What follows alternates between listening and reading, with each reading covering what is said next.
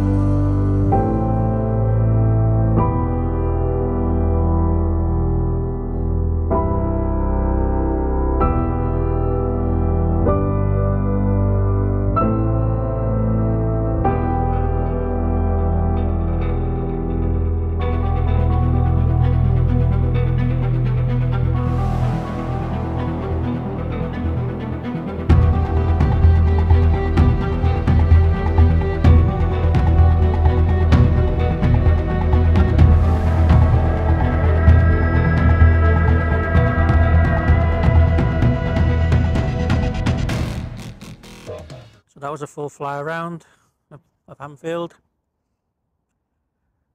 And just noticed as well, there are some workmen on site still. Let's have a look on this corner. Let's have a look what they're doing.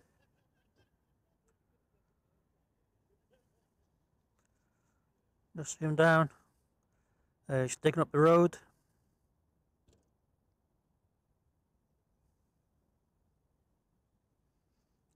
That's what they're doing at the moment. Just digging there. Presume a lot more have gone home. Like I said, it's about quarter past five on Wednesday the 24th. So I'll have to come back and get one in the daylight. See what other updates has been. But that's how the stadium looks all lit up. If you enjoyed that, please like, share, subscribe, and catch you very, very soon. Take care. Bye for now.